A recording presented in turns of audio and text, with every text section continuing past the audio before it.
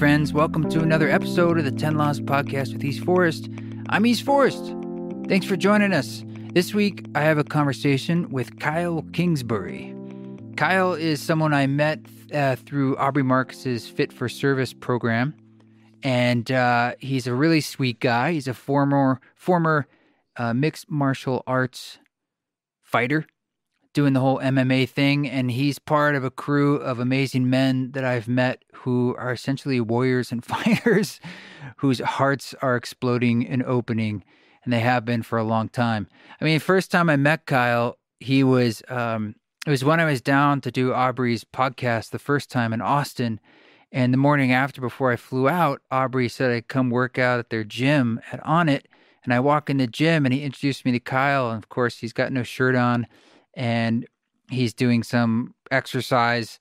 Uh, and I felt like a little string bean in there, but he was the sweetest guy. And we got to know each other a bit better when uh, I came down and performed for the Fit for Service folks. So I've been on his podcast, and he's got a very prolific, wonderful podcast you can check out if you want to hear our conversation on that. But I was really happy to be able to bring him on board for the 10 Laws podcast. So that's what you're going to hear today. A big announcement uh, this Wednesday, so that would be December 16th, 2020. The tickets are now on sale. We've finally been able to nail down and announce the venue, which is Salt Palace in, uh, in Salt Lake City on January 16th. Let me just verify that date. That's going to be the date of our uh, East Forest ceremony concert. Yeah, January 16th. So it's happening. This is our this is our big attempt uh, we are doing a COVID safe event in the midst of COVID uh, in a very, very large space with people spread out. You have to wear masks. That's a good idea. And it's also the legal requirement, among other things. So if you want to learn more information, go over to eastforest.org slash tour and click on the ticket link and you'll see all the information about the event. You can select your seat in this sort of mandala like uh, floor seating pattern because you're, you know, you're on the, so you can lie down during this concert. Um, there's some VIP tickets where you get a to keep the Hugger Mugger yoga mat that they're providing, as well as get preferred seating. And then there's uh, general admission tickets too, where you still get to pick your spot. And you, we're also going to be filming this event for the Micro Micro series that I'm producing in 2021, sort of this online, sort of a mixture of podcast and ceremony. So we're going to include clips from that uh, or break it up into four sections for this series. So you'll also get uh, admission. You won't have to buy a ticket for the Micro Micro series. This ticket would cover that. So if you're in the area and you're feeling called to attend, please join us. Get your ticket uh, quickly because it is a limited capacity event. And if you feel safe traveling by car or however you feel, if you want to walk, come join us. Uh, eastforest.org. Hit the tour button and you'll learn more about that East Forest Ceremony concert on January 16th. I uh, just want to say thank you for everyone who's given this podcast a review and then given it just the five stars is really awesome on Apple Podcasts, or if you're listening on Spotify or Stitcher or whatever. Thank you for sharing it. If you have a, an episode you like, just letting other people know about it so we can help this community grow. And also thanks for everyone who's been buying merch. We my dad is shipping it out. So uh, I, you know, could still get there for the holidays or a New Year's gift, but it's a great way to show your support for the podcast. And you can say hi always at info at eastforest.org or eastforest on Instagram, eastforest music on Facebook, YouTube, and Twitter. Um, I just had my friend Stevo here in in Boise. We both got COVID tests, so he could come for about four or five days and help me do some studio upgrades. He's he's sort of my IT tech friend that I feel I have on retainer basically, and because I need his help. And he also shot like a video for one of the songs for uh, the Possible album. That's what I'm calling it. That's coming out hopefully in early 2021. So that was kind of fun getting in here and we took everything apart and basically put it back together again. Shot a video and just trying to help get my stuff streamlined. I've also got my whole setup going here to practice live for the January 16th event with the grand piano and my live rig and I'm just diving back into that mindset. You know, I mean, it's, it's, it's been a while since I've we've been doing the virtual uh, ceremony concerts, which many of those, by the way, are still on YouTube if you want to check those out. But as far as getting in that flow of doing things uh, on tour in person, uh, getting that, I'm, I'm, basically doing my calisthenics. So uh, really excited to connect energetic with everybody energetically in person. And uh, by the way, Rada, my partner, she also released a meditation album on Spotify and Apple. It's called Guidance, and if you, her artist name is Marissa Rada Wepner. If you want to check that out, I um, I mixed it and mastered it for her, and it includes East Forest music uh, because I love her and I want it to be awesome. And it is. It sounds amazing, and she's awesome. So there's a yoga nidra there, and uh, three meditations in all. So check it out. Uh, guidance, Marissa Radha Wepner, wherever you listen to music. Okay, friends, let's dive into this conversation with my good friend Kyle Kingsbury. in the world, but it's pitch black. Words from the Savior, love your neighbor is intact. Somehow the translation getting lost in the syntax. Kyle Kingsbury, nice to see you. Good to see you too, brother. How is uh, new fatherhood going still? How fresh is it? It's uh she just had she's about four months right now. Oh my so, god. um yeah, it's it's a weird thing. You know, Bear Bear was five when we had her, and he's our he was our only child, and it's like he, I forgot. You know, I forgot all the uh forgot what the whole thing's like. Yeah, the stages, the whole deal. I have to keep you alive. Like the feeling, like right when I caught her, because we did a home birth, I was like, "Yay, she's here and she's healthy!" And holy oh, shit, wow. I got to keep you alive right now. Yeah, so it's it's been cool. She's she's super smiley and and outgoing and uh, she's rolling around learning how to crawl and it's just fun you know each stage like that because they're they were spaced so far apart. It's been beautiful to to get that. It's almost like a first first time all over again. Yeah so you're that's crazy at a home birth. I've never i've never done a birth. Not that i would have anything to do much with it but i uh I just feel like that's a beautiful thing to do, but it also seems uh, there might be some inherent challenges to doing that at home. I hate apologize for my naivete, but how do you do that? like, well, there are there are. I mean, for the listeners and for yourself, more more children in the world today, right now in 2020, are born at home or with midwives and in hospitals. So okay. still to this day right now, that's the the majority of the way we got here. And certainly we haven't had people in white lab coats birthing us for the the uh, the length of humanity. But no um we had Bear at Stanford and they were great, but you know, giant fluorescent lights. We had to share a room with a premature baby, a preemie. And it wasn't because Tosh did it naturally and, and got him out fairly quickly. You know, her labor lasted, but once we were in the hospital, she was there for an hour. We checked in at 10 p.m. 11:02. Bear was in my arms. So knowing how wow. easy that, well, I mean, it's not easy. I don't want to downplay it, but knowing how um, how well she had done with that, you know, we really were looking for something where we weren't going to be stuck in a hospital with, you know, just all the things that come with the procedure style model of birthing, and um, hold it as a true ceremony. You know, so we found a midwife out here who's been doing it for 40 years, absolutely incredible. She had a team of, of um, three other women with her, and um, you know, it was it was it was awesome. She got in a full squat by the bed, Native American style. I had my hands right underneath her, and oh my god, out, out she came. So I can't believe it. 4:36 a.m., uh, Fourth of July with a full moon. So wow. of course, course, little wolf's going to come on a full moon. But yeah, it was it was special, really special. Well, congratulations. That's that's a big deal. It's very very exciting. I mean, you've had many changes in your life. I'm sure we've all gone through a lot of changes as of late, but for you, it's been probably that's I'm assuming it's taken over. You got to have.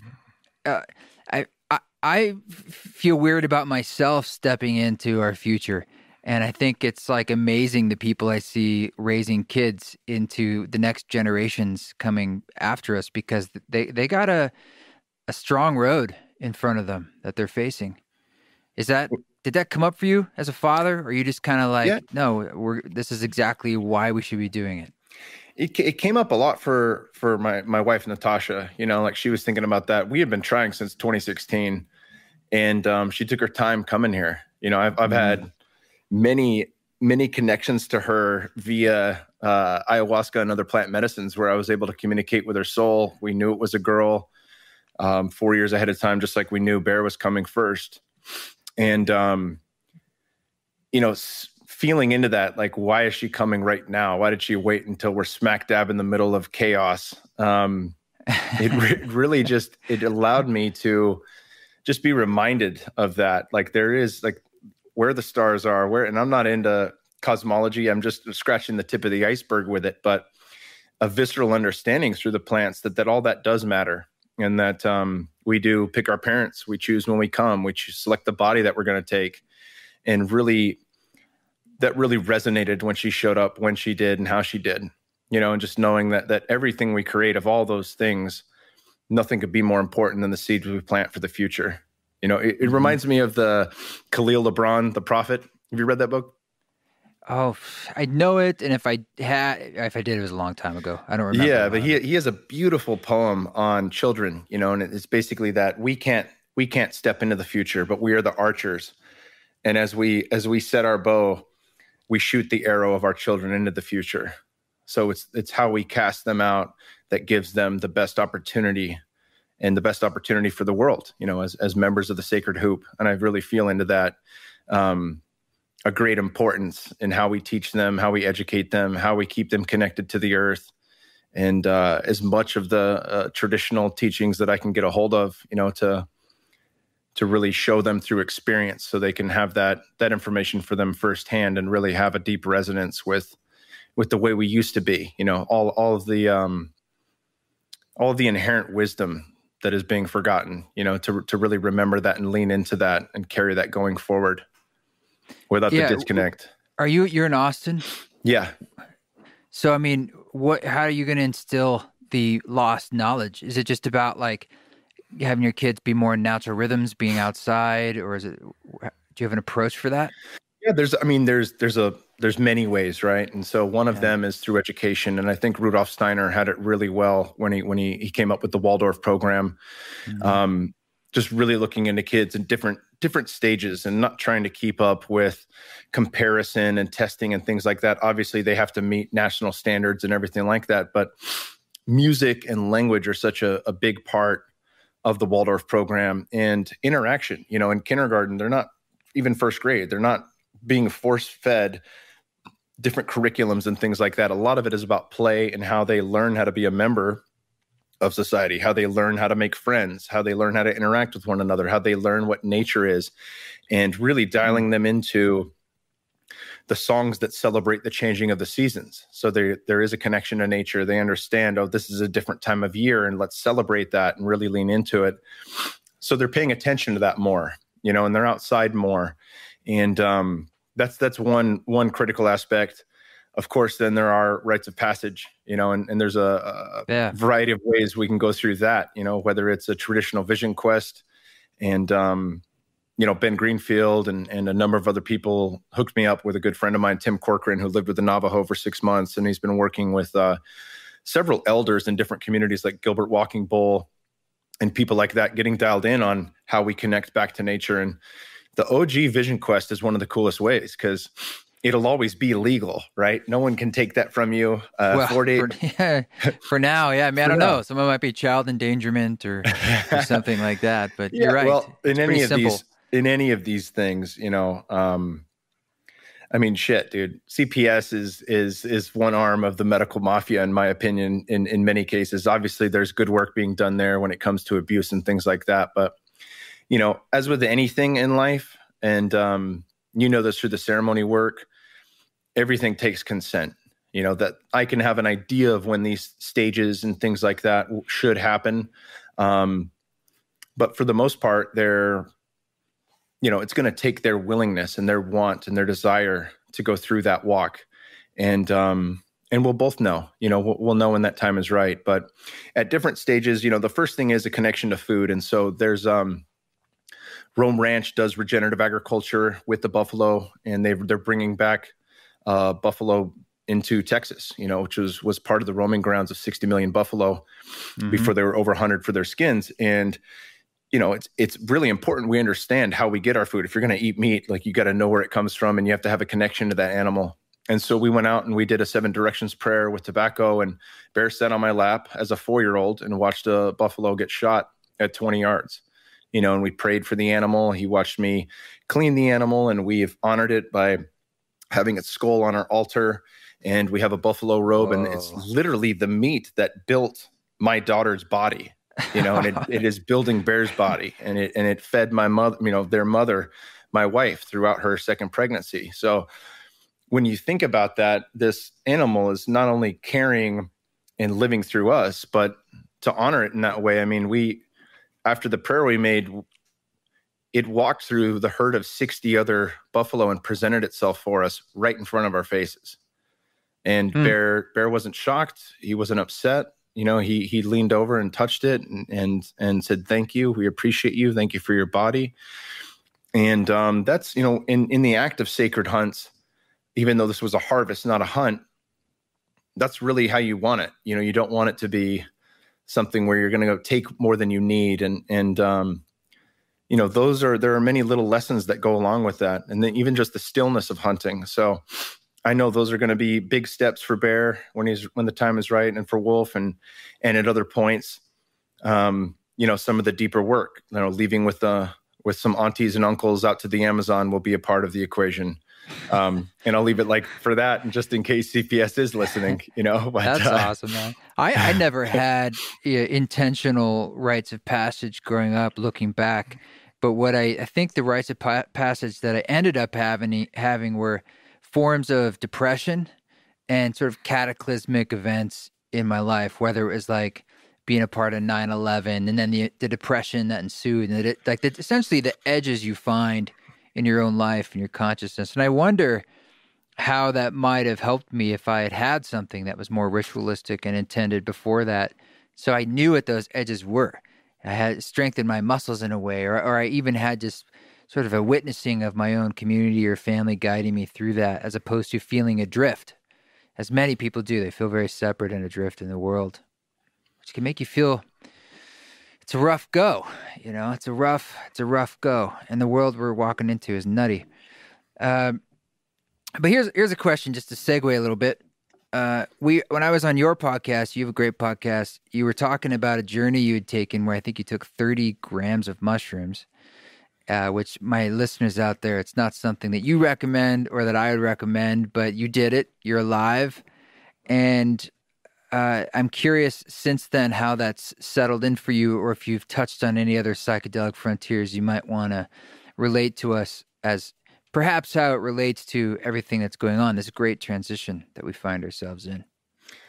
Yeah, I mean, there's, there's, look, just, and just to touch on what you were talking about, I think life delivers us our own initiations just because our society has stripped that away That's from us. Sure. We, we, uh, they come. They, yeah. we, we, we, get to show up in different ways in our, our teaching. You know, as Paul Chek talks about, the pain teacher shows up in many different forms. First as a whisper, then as a knock at the door, and then it'll kick our door down. And that can be a car accident or a twisted ankle or the loss yeah. of a loved one. It can be many different ways that we get those teachings. But it's all it's really about tools, you know, and, and psychedelics and plant medicines for me have been incredible tools in my journey.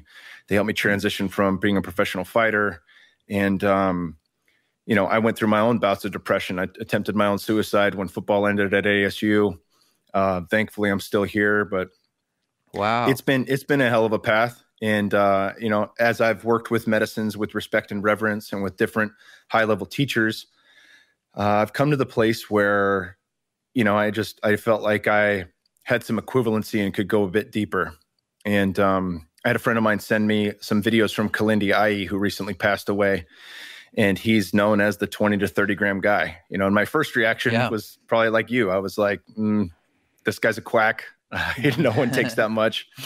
And uh, I watched him and I realized he was fairly grounded. You know, for somebody who had been doing that for 20 years, a lot more grounded than a lot of people I've met in ayahuasca circles. And um, really what was resonating is I felt like I was getting permission. And uh, mm. ayahuasca in different journeys, when I had asked, you know, like, how do I continue to work with you or work at a level this deep when I can't make it back to the Amazon? I was shown a golden mushroom growing and uh, different numbers of the doses of progression to climb that ladder.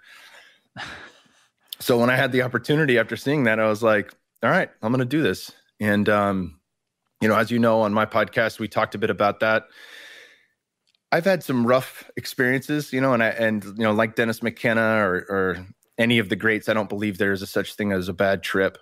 There are challenging and hard moments within the trip, but um, no bad trips. And all, all this is perspective. But if there was a bad trip, that would that would certainly stand up to, to anything I've experienced. You know, I I spent what I can only describe as eternity in hell, and the only way through that was truly surrendering like actually not caring of what I was seeing and being okay with it and accepting it before I could move on to the wow. next layer. And that happened for what felt like eternity. You know, th- there's no time really, even on a couple of grams, time is distorted. So on 30, you know, it's it's there's zero concept of time. I was out of my body the entire experience. Um, and to go through that, I mean, really what the, the lessons were in that was it was a report card. Anything I have aversion to, anything I'm clinging to, um, any fears that I had were shown in the most visceral, visceral possible way. You know, I mean, it was a lived experience of seeing my worst nightmare come to fruition. And, um, you know, really gruesome and detailed, you know, bloody at times and, and, um, uh, incredibly challenging. And then, you know, in the wake of that, I thought I was dead for a solid 30 minutes. You know, I just I really had had not pieced it back together yet and then slowly started to come back to my body and realizing I was alive. You know, rebirth was the last intention I had written down and even though I've had the death, death experience on 5-MeO and on ayahuasca, like nothing quite compares to that. So it's uh it took me some time to unpack it, but initially I thought never again, and now I know that I will do it again. I mean, it's it's been over a year since I've done wow. it, um, and I haven't done it. I haven't done another one since. But uh, a very clear um, intuition on that was to really work with a high level black belt as a grounding cord next experience. You know, I would never pour ayahuasca for myself, and Icaros guide that. So, really working with somebody who can who can tune into me and tune into the medicine and feel into where I'm at, and whether it's with tobacco smoke or song itself, guide me through that experience with a little bit more grace. Um, I think I think I will re-enter that land, you know, when when the stars align and the time is right, and I, I certainly feel called to it. And at the same time, you know, as we as you brought up on our podcast, there's there's so much that can be accomplished in in uh, thinking outside the box and shifting our perspective with far less you know and mm-hmm. i had um my first meditative dose with the Sonoran Desert Toad, 5-MeO DMT. And like a little kid, you know, I was like, all right, cool. Once we do that, I get to go deep, right? You know, and and uh, really just just like a little kid. And um, with the meditative dose, I had so many downloads. I felt like when Neo, you mean like a, a, lighter dose? Yeah, meditative, very light. I mean, yeah. I don't know if there yeah. is such a thing as as a light dose with 5-MeO DMT, but right. it was. Uh, it was like I had a zip file installed into my brain. And then I spent the next 30 minutes unpacking everything that I got in less than one second. I mean, it was instantaneous. And then I got to retrace and go over and go back over everything that had come in. And um, I've never experienced anything like that. So truly, I'm, I'm still learning how to work with all these different medicines. And, you know, I've, I've probably done you know psilocybin over 100 times and ayahuasca 26 times now and somewhere in the in the high teens with 5-meo and i'm just continuing to learn you know i feel like i have equivalency but i'm i'm i'm still pretty green you know in in terms of you know that that never ending unfolding well of information that lies within these things and that that yeah, feels well, pretty good too if you had if you were to say right now like i think i got a handle on this and i figured it out and then you're like, I'm about to dive back in, I would say, don't. you're about to get a smackdown. Yeah. so yeah. it seems like you've got the right energy. It's an endless well and an endless experience. Uh, do you think that, uh, and perhaps this is my own projection from starting to meet you guys and some people in your your circles with Aubrey and other people, but are you sensing that some of the bros out there are starting to awaken into forms of more consciousness and awareness and introspection, or is that just me? Oh, you mean like guys that have a physical meat suit like me, like getting yeah, getting the, the yeah. bros, yeah, yeah, like yeah, uh, hundred percent. I mean, I know I know several, but I'm just curious if there's if it's a larger uh, wave happening. And do you think psychedelics plays a role in that, or it's it's just sort of something else? I think so. I mean, I, I, mean, I think I think psychedelics play a role in that, and I think in part you have guys like Joe Rogan and Aubrey Marcus that are, you know, like if, if you if you look out into somebody um, and you see a little bit of yourself in them, and they're speaking to you in a way that resonates. You know, Kilindi resonated with me because he's a lifelong martial martial artist. Oh, you know, it was like he was, and it was like, oh. oh wow and he has this wealth of knowledge on the history of african psychedelics and the fact that these you know continents used to be right next to each other and how they mirrored and, and a wealth of knowledge on the indigenous cultures that lived there from the maasai to um, the sunni and many others and it's like oh this is this is uh this is a really cool you know thing here where I, I, feel like he's speaking to me. And i think that resonates with a lot of people because rogan is down to earth and he does yeah, take care of himself. And he you know he's a hunter and he's a lot of things. And aubrey obviously walks the walk with his body. And um, i think more bros might resonate with that person than you know a, a hippie with a beard down to his knees. And then at the same time you know that, that's one of the reasons why I like to have a lot of different people on the podcast because if I'm just having bros on and what no matter what where they are on the spectrum sometimes you want to hear it from a, a woman. Sometimes you want to hear it from an old man. Sometimes you want to hear it from a young woman. Sometimes you want to hear it from anything in between.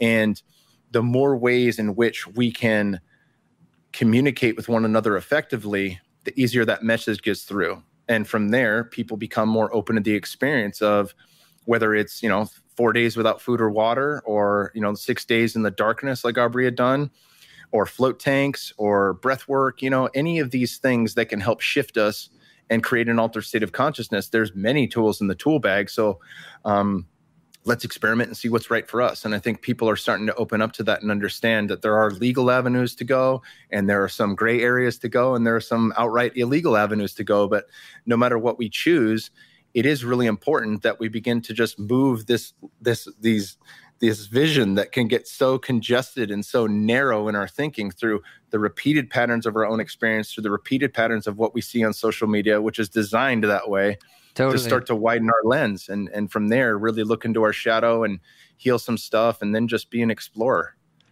yeah yeah i i, I mean maybe it's indicative of like a larger shift happening with people in general. Uh, the guy Court Johnson, who speaks the Ten Laws in one of my songs, one thing that he says is that we're crossing this kind of bell curve on the planet, and it's sort of from young souls, you know, more now into uh, adolescent to mature souls, and in that transition, one of the main characteristics of that is that people are becoming more introspective. They introspect and just as opposed to an outward view of all of life, they tend to start to look inward, and that being a very profound shift for people. And we certainly see that in many different fields, whether it's uh, yoga expanding or what we're talking about right now, or organic foods, everything, the psychedelic movement. And it seems fitting for the times too. You know, it, it seems like it's a sign of the times or a symptom of the times, but it's sort of like a yin yang where one goes with the other as things are collapsing, hopefully people are starting to see these doorways of opportunity in front of themselves and rise up. So, for yourself, as you've been walking through this particularly uh, pointed time, the last six, seven, eight months, what's what's been coming up for you? Like, what's your edge that you feel like you're working with as a point of transition? Right. Well, I mean, I've I've been uh, I've been trying not to put my head in the sand like an ostrich. I'm trying to really see it on all sides um, I think the cracks, you know, it's exposing all the cracks. This this yes. this global pressure is exposing all the cracks we have, everything that's broken from our financial systems to our education, all the way up to university, um, our food. You know how we depend on big energy and power companies and big oil. Uh, all of this really is being shown to us and and if if the world is where it is you know i've, I've read the new confessions of an economic hitman that will blow some people's minds. You know it really dives into corporatocracy and how a lot of these third world countries that i've been to have been overtaken from the us and economic hitman and big oil companies. And yeah. those are hard pills to swallow you know and, and then at the same time we have this equal and opposite force of good coming through. And we see that with all these major universities. You know i had a couple friends um, help out with the $17 million psychedelic wing that's at John Hopkins. And you oh. you see people with big money now showing up because they've they've had firsthand experience with these things and understand their value. And at the same time, like you said, there's a lot more organic farming. We see uh, movies, you know, documentaries like The Biggest Little Farm and Kiss the Ground in this connection back to the earth. And then the the the beautiful thing about that too is how fast nature responds. You know, with intention when we have reverence and we're trying to create ecosystems, it's much more rapid than soil scientists ever thought we could restore the mm. land. Mm. And um, you know, I'm paying attention to both things, but at the same time, I think it's where we focus. And and for the longest time through media and social media, we have focused on the bad because that's what sells, and that's what, you know. Uh, Joe Dispenza actually said this once in a in a meditation that blew me away. How we, and it's in Becoming Supernatural, uh, one of my favorite books of his, but we can become addicted to anger. We can become addicted to fear. We can become addicted to negative emotions. And right. on paper, I mean, my first thought is, what are you talking about? No one would want more fear, more anger. But the truth is, if you are in a mundane, you know, jail cell job that you can't stand with long commutes, whatever makes you feel alive is going to be addictive. And if fight or flight kicks on, every time you get into an argument with your wife or every time uh, you know your boss shits on you or whatever the case is that can start to become a knee-jerk shift that that you that does resonate for you because it makes you feel alive and looking at that in my own life it was like yeah i am addicted to feeling angry. I am addicted to mm. conflict. And you know I, look at my trajectory as an athlete from football to fighting it's like okay there that's not that's not a uh, that's not too lofty to, to connect those dots. But how we unpack that whether it's through plant medicines breath work meditation any of these other things is really important because then we can start to find for ourselves what is it that really lights me up inside? And what is it that i'm actually trying to accomplish? And what are the steps i'm going to take to do that? And what are the what is this deep feeling of peace that i can feel at moments in plant medicines but i maybe don't live with in between the journeys? And um, for me, it's in that reflection that I can start to refine and really work backwards to know that if I'm in a state that used to be previously really addicting because it made me feel alive, how can I work with that in a different way? You know, if you get in an ice bath, that's going to switch on some fight or flight. It's also going to bring a lot of stillness in. But those those neurochemicals and hormones that happen from that are good for the immune system. They're good for the brain. They're good for a lot of things when it's acute and it's not chronic. So, how do I play with that stuff acutely and start to work away from the chronic, repetitive, negative behaviors that I've had and been addicted to? And then at the same time, build more of a chronic, positive outlook on life. And, and that really has to do with where I put my attention. You know, it has to do with mm-hmm. the focal point. And, um, you know, my wife had the download to get rid of our TV, I think three or four years ago in psilocybin. And uh, Bear was really young, totally addicted to it. You know, like he would watch maybe 30 minutes a day and there'd be an mm-hmm. argument every time he walked by the TV. So yeah, we just got rid like. of it. Yeah. yeah, it's crazy. we just we just got rid of it. And um, we'll still watch documentaries and things like that on the computer. But um, it's just not a draw, you know, with that gone and without having cable and you know, people are like, How do you get the news? How do you get this? How do you get that? It's like, well, I'm plugged in. I, I got yeah, a lot got of friends. yeah, like we, we, knew about COVID right when it happened, just like everyone else. I don't have to tune into the news.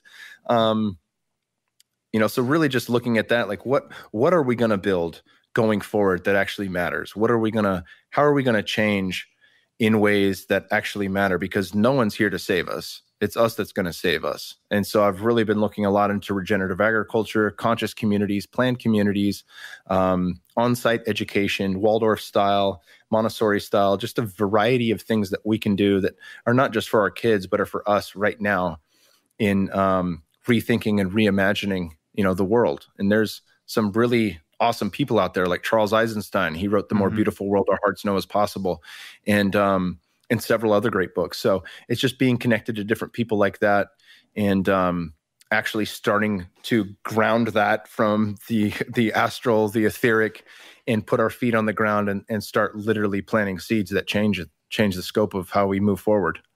No doubt charles is charles is great uh, he's one of my teachers met him uh, way back in 2008. That's actually he's kind of the reason that I'm now down in Boulder, Utah, because I'd read his second book, The Ascent to Humanity, and it was really powerful for me. And he was part of this little retreat happening at the Boulder Mountain Guest Ranch. It was him, Dan, Daniel Pinchbeck, and Dennis McKenna. And I was, and it oh, was oh, wow. like basically talks and hiking in the canyons. like that was pretty much it. I was like, I was in New York City at the time. I was like, I'm in. That's that's a win for me. And it was quite inexpensive, and there were probably just 30 people there, and it was it was really profound. And how was? Can I ask? How was Daniel Pinchbeck? Back then or now? okay. Kind of the same. Yeah. I mean, I've known I I so I lived in New York, and I knew Daniel from that scene, and I got to know. This was right when Evolver started. I don't know if you remember Evolver. It was like a conscious social network they started. So Reality Sandwich was their online magazine that was about counterculture stuff and psychedelics and aliens and all these things that no one else would write about. And this is 2008. Frankly, psychedelics weren't as very popular. Like it was still a pariah to write about them. So it was a place that I had found online where I could read about this stuff. And he was one of the founders with four other, three other people. And when I went and met these guys, because we were all in New York, uh, we all became friends. I became closer friends with uh, some of the other guys, particularly Michael Robinson. But Daniel was someone who was just like a tough egg to crack, you know? Like, I don't know what it was. Like, I, a lot of times when we were talking, he'd be looking over my shoulder or looking around the room kind of thing, you know? And I was just like, I don't know, I didn't really felt seen in that way, but we had some we had some good times together, and he's he's been a good guy to me, but I don't know him that well, mm. and uh, we I knew him over the years through that, and then we kind of fell out of touch when I left out of New York. Um, but I really went for Charles and Dennis. Yeah. I was a big Terence McKenna fan, particularly at the time. I had oh, yeah. listened to many, many, many talks on psychedelic salon, and so I was like, "Oh my God, it's Dennis McKenna! This is the shit."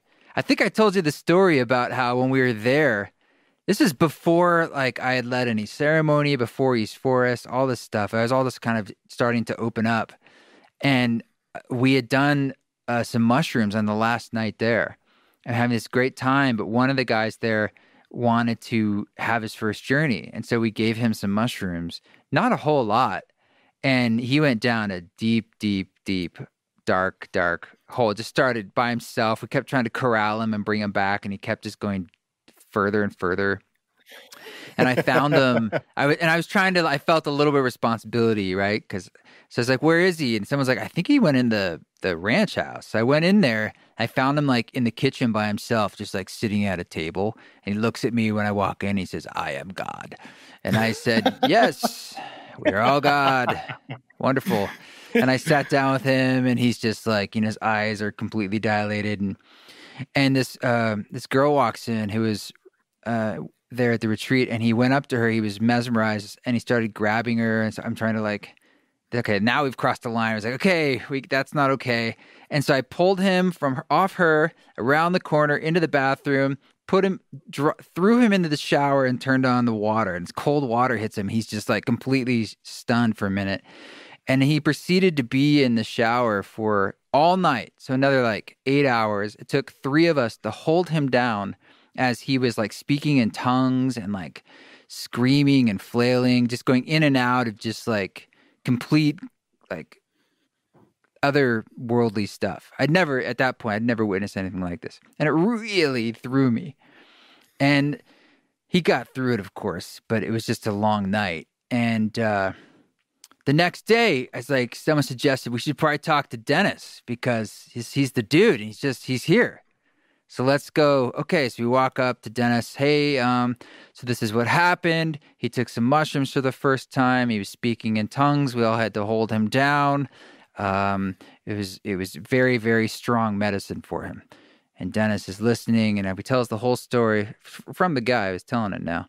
And he says, "Well, uh, what's the issue? sounds like a very powerful journey. like, yeah. So I think when you're comparing to like going down to uh, the Amazon and losing your mind for weeks on end, Um, but I was also reminded because when that did happen, one of my friends there who owns the place was like, you know, this is a this is a beautiful opportunity. Like we should light all these candles and all these things. So when he comes out, it's like a rebirth, and it's like because he he recognized what he was going through, and uh, it was a very powerful experience. But Daniel was there too. I don't know where he was that night. I don't remember. I just remember holding this guy down in the bathtub all night long with my Navy SEAL friend, and the two of us being totally battle scarred after that night. But anyway, uh, that's why I ended up moving there because I I went there for the first time and I never would have gone down there. And then I, I fell in love with the area and kept going back. And now I, have a, a spot down there. So it's been a journey. Yeah, that's beautiful. Yeah.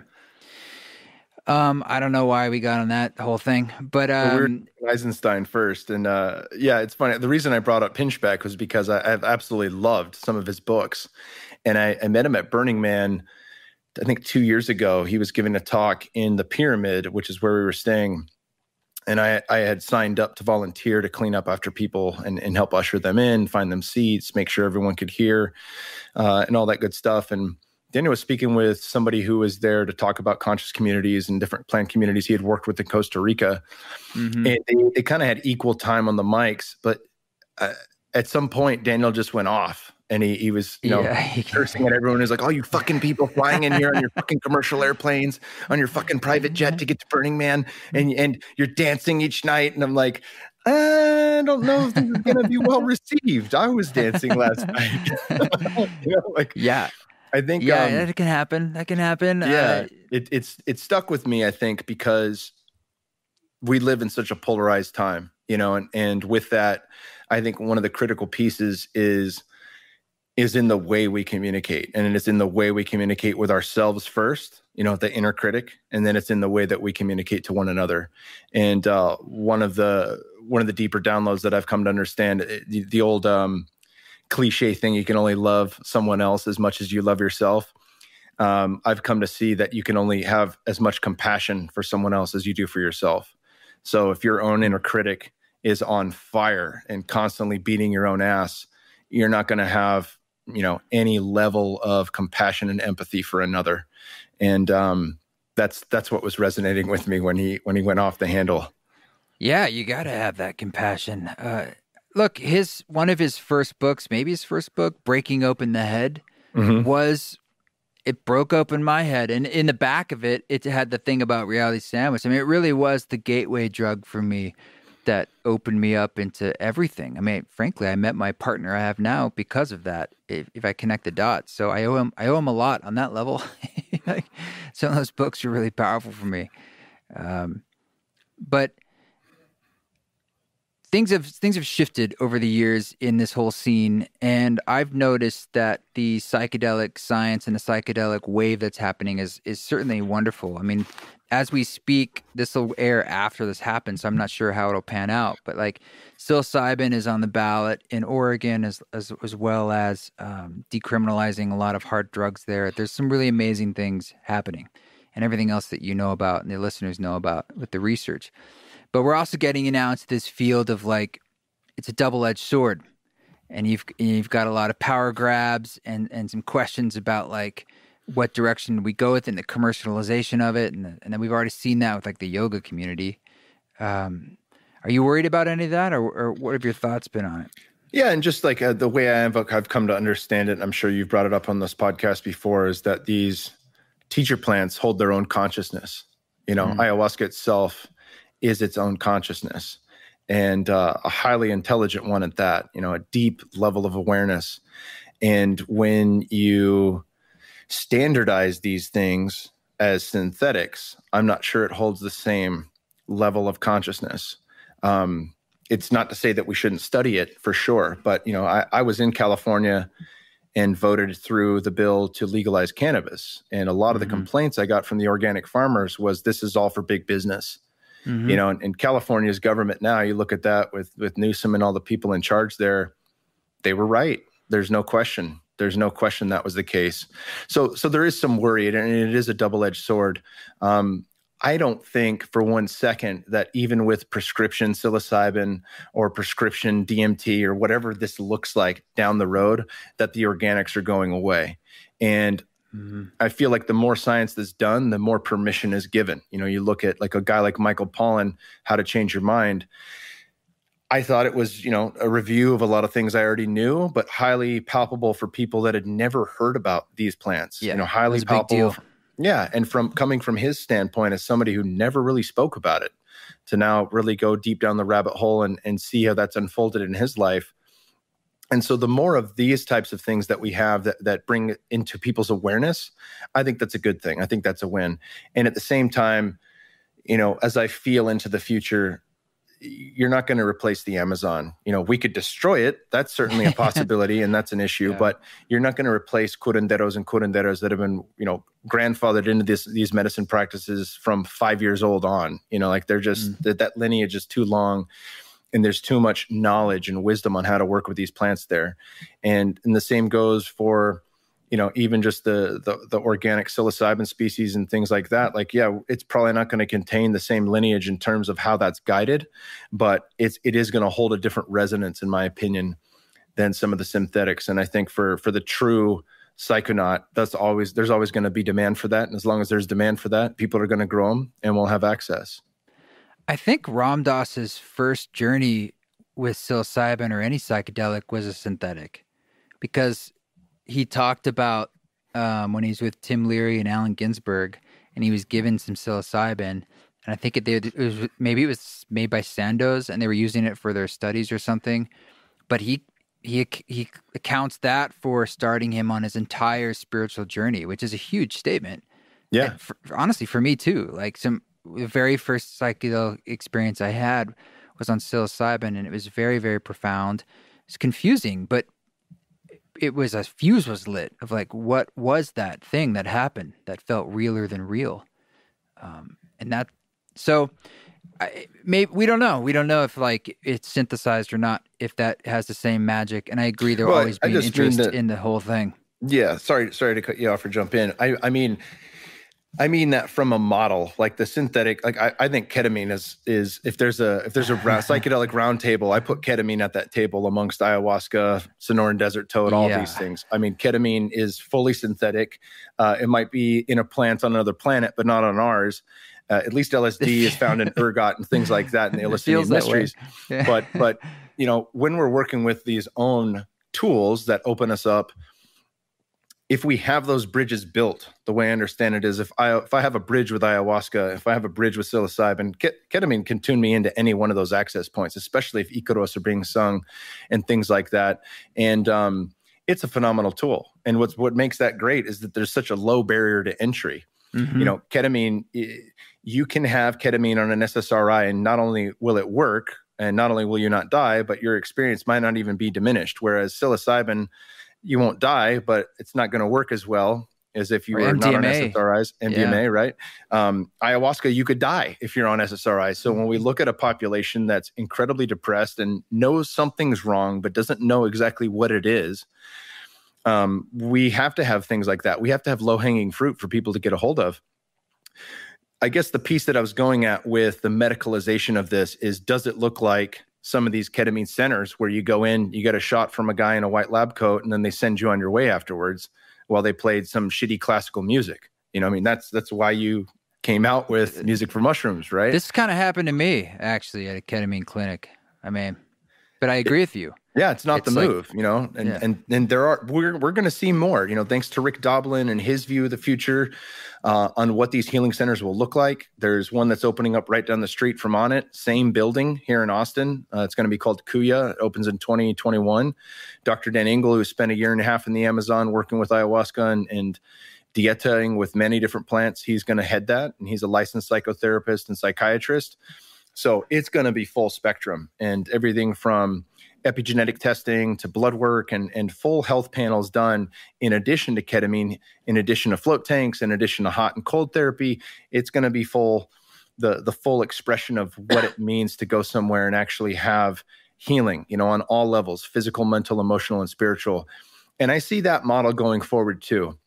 The the thing I mean about, you know, the the synthetics and and big business, big pharma getting a hold of it is just is this just, you know, going to be a cookie cutter I got my prescription from my doctor, and there's no real support around that because, as you know, integration and, and yeah. preparation are as important as it gets. Yeah, you could argue that it's everything, and the container that it's done in, the ceremony itself, is a big, big part of what it is, and, and the music's a big part of what that ceremony is. My my ketamine experience with the intermuscular, the shot, was like mm-hmm. that. Like the guy was sort of in a hurry and just kind of like, hey, I just need it, I need it, blah blah blah, and I'm like, bro, we haven't even started yet, you know, and I'm just trying to like, I'm just arriving, and he put it in my arm, and he just left and uh, I was there in a little group session, but I didn't really. It just it just came on like a freight train that was fueled by a nuclear power plant, and like I mean, it was like nothing else I had ever experienced in my life. And I've had I've been around the block, and like this was this was way way way beyond in power. And I I haven't had 5-MeO, but I thought like, oh, this must be what 5-MeO is like because it just was this infinite uh, ascension. It just never stopped. Yeah, there's, there's definitely similarities for sure. Dimensional areas that I didn't know those dimensions were dimensions or those concepts just kept going. And, and that was, I w- I don't want to say it was good or bad. It was just powerful, incredibly fast too. It wasn't this slow moving thing. It was just like, just kept going. And, um, and this was just some, some guy who just walks in a room and just kind of sticks something in your arm and takes off, you know, because he's got to go home to dinner. And something about that felt violent right? It felt like that's that's not how this this we're holding people's souls in a way that's incredibly vulnerable and we need to add that care around it. And that that ceremony that ritual that container is a, a massive part of the experience. And it's not going to be held within the medicalization model completely but I hope that it's something that's available to people also who don't necessarily have the money to pay thousands and thousands of dollars for some of these retreats and experiences. I mean, it'd be amazing if it was just sort of like more holistic. Was a, health was available like this as part of for all of us. If it if we felt called or we wanted to explore it, and some kind of like um, Medicare for all as part of Medicare, it'd be amazing. Or you had this like chunk of money you could use how you want, and it was like a credit system. I don't know whatever it is, the policy, uh, I would love to see it be more uh, democratized and egalitarian for everyone to use. Yeah, and I think availability is heading in that direction. You know, the access points, um, how we access it, and I think as consciousness moves and lifts, and and you know that that equal and opposite force of all the darkness we see being the light side. Um, there's a lot more people carrying medicine with respect and re- reverence these days, and um, yeah you know, certainly the doctors that I've worked with, they hold it in that way with respect. I mean, we we we held our ketamine injections in our hand with our intention yeah. to our heart and verbalized them, spoke them into existence first in front of the entire group before we handed it back to be injected. You know, there was there was a lot of reverence with that, and um, Palo Santo and tobacco, and and pretty much you know organized it in a way that was no different than a plant medicine ceremony, and and with yeah. that level of intention you know our our we were received by the medicine and the medicine was received by us in a way that that made it indistinguishable from you know a, a curated plant medicine journey with a high level practitioner? Yeah it it i had no idea ketamine could could be that powerful and that profound. I think i just had complete ignorance about that. And um, now i have a, a fully different viewpoint. It's, it's some space medicine man. Like it it can take you places. There, it had elements of LSD, psilocybin, DMT, MDMA, and nitrous all combined into one. Like it had the clothing of all of them. I was just like, what is this? What is happening right now? I'm, I, maybe it's just a shock. As, as Terence McKenna said, it's like you, know, you if you, you, won't die from a DMT trip, except maybe in you'll die of awe. Or, you know, yeah, don't die to the astonishment. dive astonishment, right? Yeah. I haven't listened to him in so long. Where there are so many like fun quotes. I remember him talking about all a sitter needs to do is essentially be someone. They could be in another part of the house, and just every now and then, maybe you ring a bell or something, and they just pop their head in and just be like, "It's all cool," and they just, they just leave again, and like that's you know do the least amount that they need to do. Yeah, well, it's amazing, man. I'm glad to see that you're thriving, and it seems like you're walking through what is a uh, already a challenging time, and then you're bringing like as beautiful as it is. I know it's stressful too when you bring a new life into the world, and I hope that you guys and your family are are walking through that with uh, as the least amount of stress as you can. Is the relationship feeling feeling good through things like this? I mean, you've done it before. Yeah, I mean, no doubt. It's been it's been a it's been a catalyst for growth. There's no question. You know, you, have a, various fires lit under your ass that that you can look away from or you can say yes to. You know, and, and thankfully through the deeper journeys and the, my trajectory, I, I, know always that the the fastest way through the storm is head on. You know, and really facing and looking at the things as they present themselves, and continuing to learn. You know, like that. That's just been there's always something that steers me in a direction. And if I listen to that steering and that intuition, then I'm guided to the right place. And whatever it's been, whether it's through how to communicate differently with Tosh or how to parent differently and, and feeling into that. And then the stillness is the greatest teacher, you know, stillness and nature, that combination um, is a great vantage point to reset myself and to really come at whatever challenge I have with with peace and equanimity. And uh, you know, we've had our our challenges, no doubt, but I think this, in in many ways, has been another great teaching and bringing a female into our home. You know the balance the the yin to bear's yang energy has been incredible as well because they're completely different. I mean all kids are but mm-hmm. i mean they are polar opposites and uh it's absolutely beautiful having her energy in our home now. I i bet it is. I bet it is yeah, it's such a wild trip. I only have two part time stepkids, which I always call PTSD, part time stepdad. And uh, even that's like a wild ride for me. And they have a very active, involved dad. But it's giving me a glimpse into this whole journey. And it's it's such a trip, man. It's like the total crucible for spiritual development. There's nothing more than bigger than your relationships, those immediate close relationships with your partner and your family and uh, it's like that's where a lot of the real work happens. We can deny that sometimes by thinking it's these other things or these external projects or, or these ideas we have. But the rubber meets the road a lot uh, with ourselves, and then the next level is often our partner, our family. Yeah, no doubt. Uh, the the if you think you're enlightened, spend a week with your family. I've had that yeah. experience. yeah, quite a few times in the wake of really transformative week long ceremonies you know, where like as it happens, I'm going. Of course, it happens that way. Yeah. yeah. it's like okay, mom's staying with us for a week, or dad just came to town for three days. You know, and it's it's really beautiful to look at it that way, and then say like, oh, do I actually know this now? Can I be the piece that I wish to be, or the piece that I wish for them to embody? Can I actually just be that first?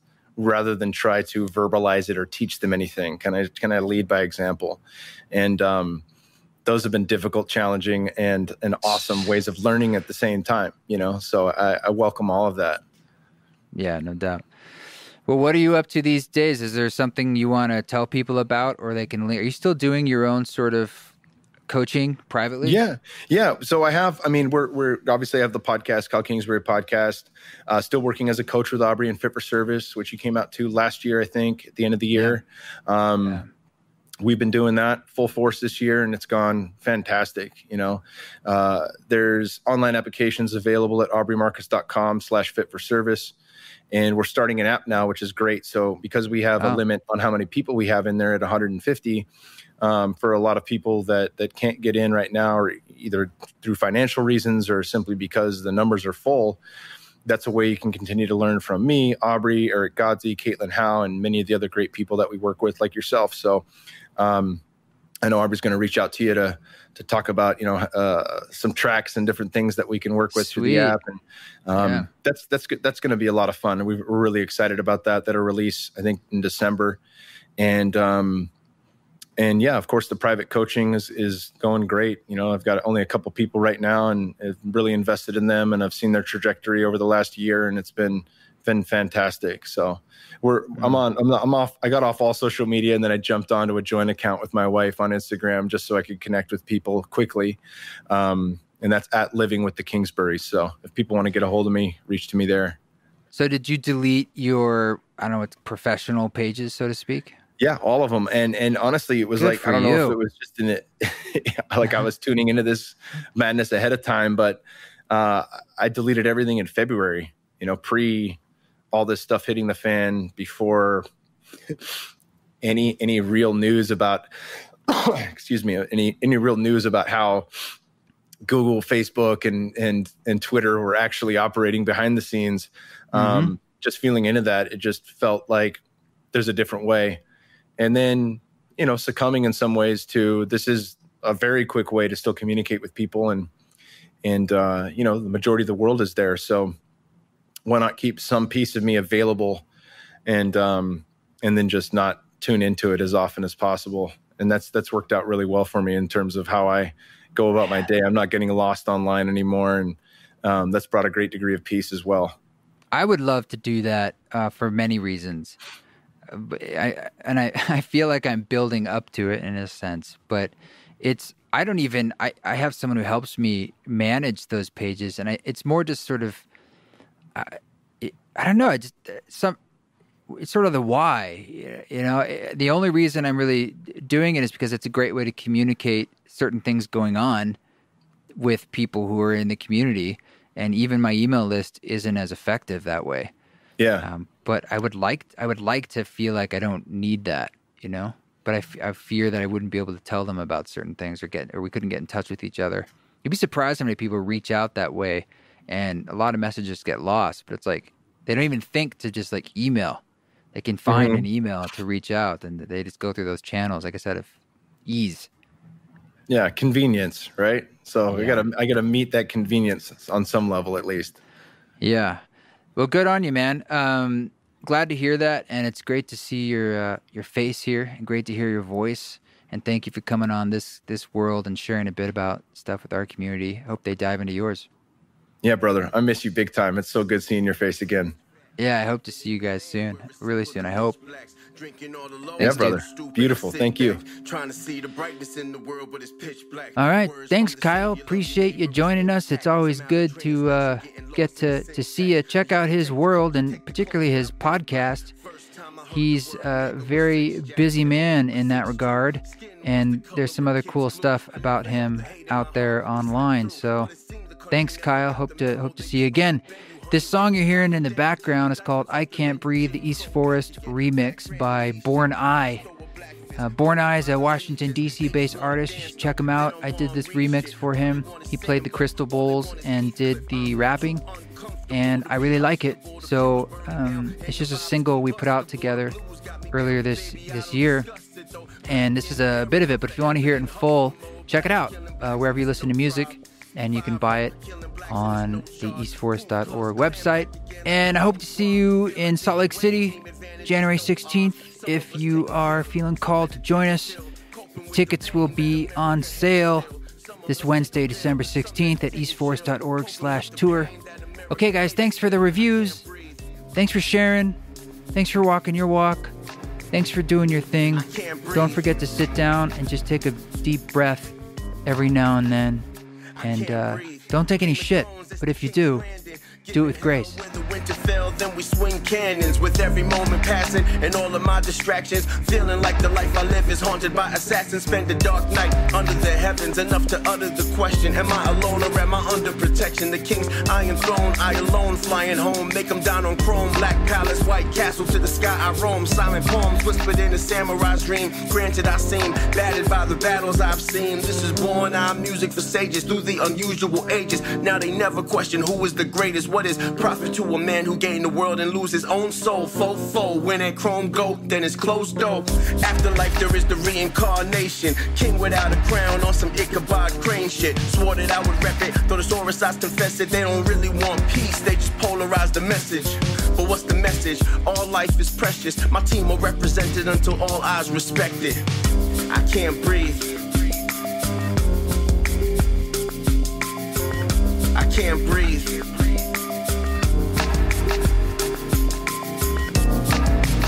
George Floyd, Breonna Taylor, Philando Castile, Eric Garner, Mike Brown, Trayvon Martin, Sandra Bland,